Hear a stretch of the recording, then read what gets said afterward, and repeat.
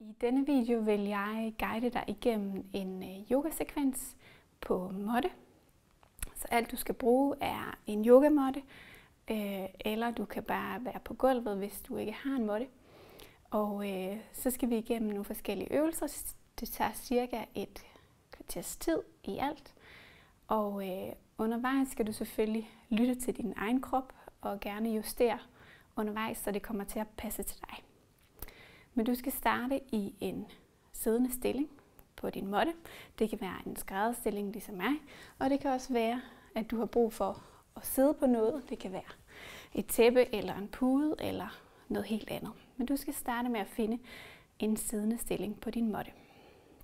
Sid med så ret ryg som muligt her, og find dig godt til rette. Lad armene være ned langs siden her, på din næste indånding, så rækker du armene ud til siden og op over hovedet. Lad håndfladerne mødes. Og på en udånding, før dem ned foran hjertet. På en indånding rækker armene op igen. På en udånding hænderne ned til hjertet.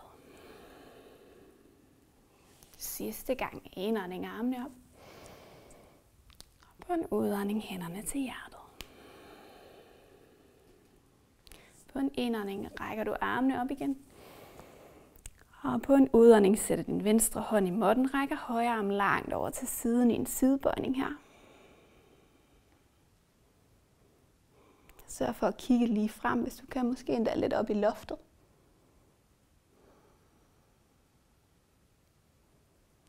På en indånding rækker du armene op i midten igen, begge arme med op. På en udånding en sidebøjning til modsatte side.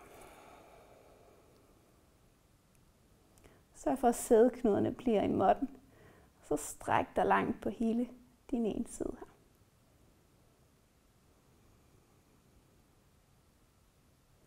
På en indånding, kom op i midten igen. Vi sætter lidt mere tempo på.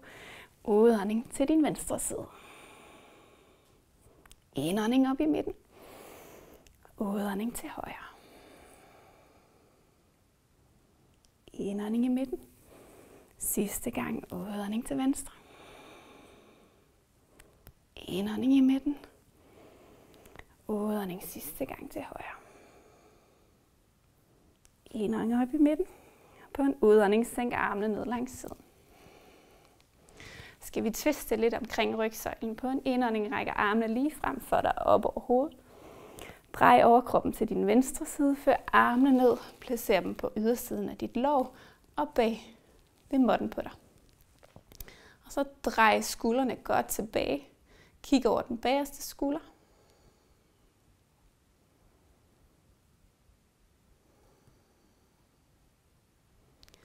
Kom tilbage til midten på en indånding. Rækker armene op.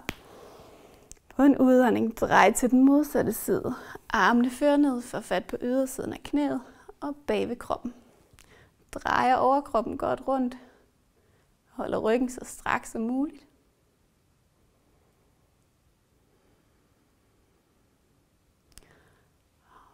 Slip her igen på en indånding. Armene op.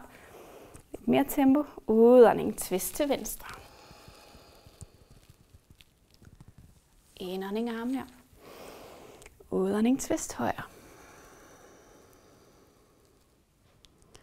Indånding. Armene op.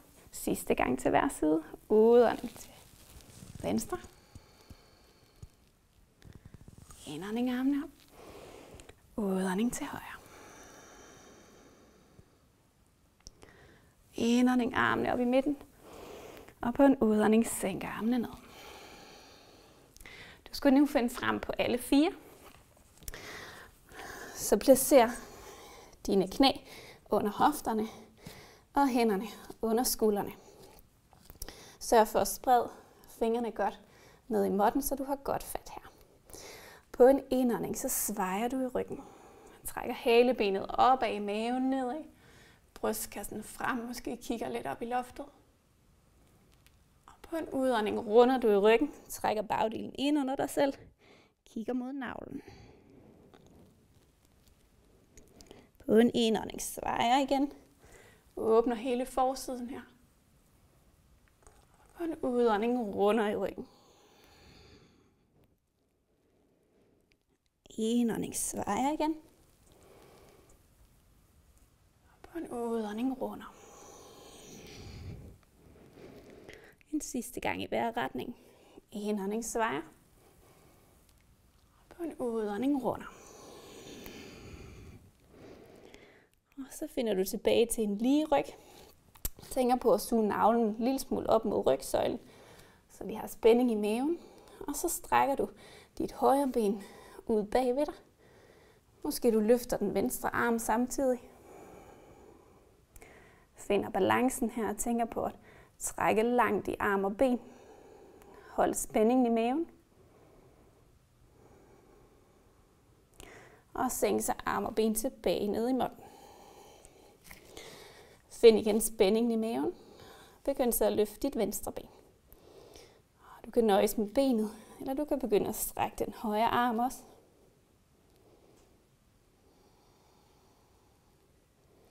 Og sænk ned på plads. Gang mere til hver side. Løft det højre ben. Måske den venstre arm. Stræk dig langt. Og sænk tilbage i måtten igen. Sidste gang. Venstre ben løfter, måske den højre arm. Strækker langt. Og sænk tilbage i måtten. Herfra går du dine knæ ud til kanten af måtten. Lad stortærne mødes her. Sænker bagdelen tilbage mod hælene, ned i barnets stilling. Går armene lidt frem og panden ned mod måtten.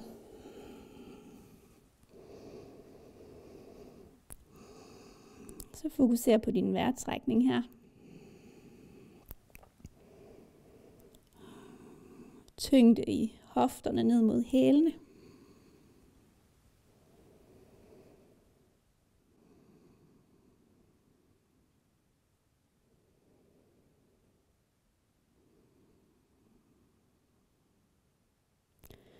Begynd så at finde op mod alle fire igen. Træd din knæ lidt ind på plads. Bøj så dine tær under, så de har fat i måtten. Så begynd at løfte knæene fri. Vi skal op i et hundestræk. Så bagdelen trækker opad, mens du lægger vægten tilbage mod din hæle. Vi skal op og danne sådan en trekant med kroppen her, hvor bagdelen er det højeste punkt. Tænk på at lægge vægten tilbage i hælene. Skub frem med dine arme. Måske du har brug for at lave et lille bøj i dine knæ. Fokuser på, at du har en så ret ryg som muligt her. Mærk gerne, at det strækker på bagsiden af dine ben.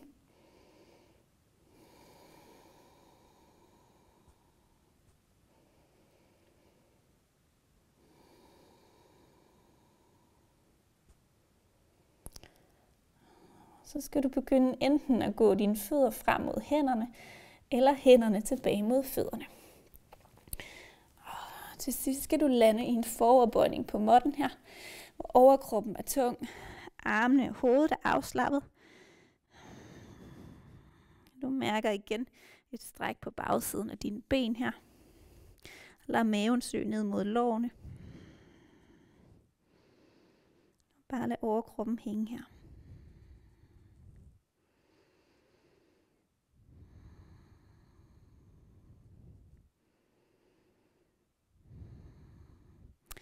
Herfra skal vi ned på bagdelen og sidde. Måske du bare kan bøje benene, Kom ned på måtten. Så gør du det. Men kom ned og sid med strakte ben på måtten. Tæerne peger op mod loftet. Du har så strakte ben som muligt. Tænk på ret godt op i overkroppen her, så du har en god lang rygsøjle. Så tag en god indånding og træk armene op mod loftet her. Og på en udånding rækker du fremad mod dine tær. Måske du får fat et sted på benene her. Måske du er helt nede og får fat på dine fødder. Men du skal finde et stræk for dine haser igen på bagsiden af dine ben. Og så skal du bare være der, hvor du kan mærke, at du kan finde et stræk. Giv gerne slip i hovedet og nakken her, så du ikke sidder og spænder. Så bare lige tage et par vejrtrækninger her i strækket.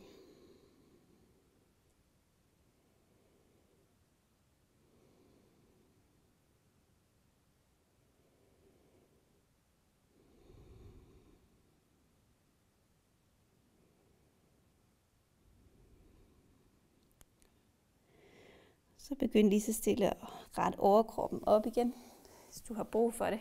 Så ryst dine ben en lille smule. Så skal du komme ned på ryggen og ligge. Så gerne fodsålerne i måtten. Bøjet ben. Og ellers afslappet i overkroppen her. Så tager du din højre fod og placerer den på det venstre knæ. Lad knæet falde ud til siden her. Løfter den venstre fod fri af måtten. Får fat på bagsiden af låret her. Og trækker benet op mod brystkassen. Indtil du kan mærke et stræk her på den højre balle eller hofte. Se om du kan have skuldrene og hovedet hvilende i måtten. Så brug din vejrtrækning her i strækket. Se om du kan slappe af omkring dine hofter.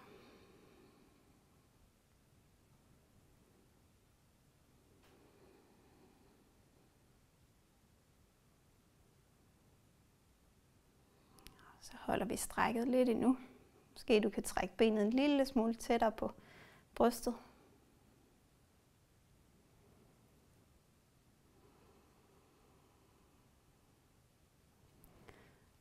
Så giv slip på dit venstre ben igen. Placer den højre fod ned i måtten. Og løft i stedet for venstre fod op på det højre knæ. Lad knæet falde ud til siden. Løfter højre fod fri af gulvet og griber fat på bagsiden af låret her.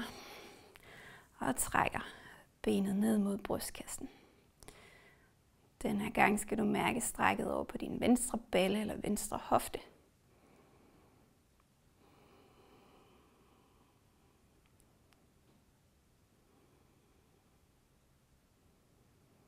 Så ellers find din vejrtrækning her i strækket.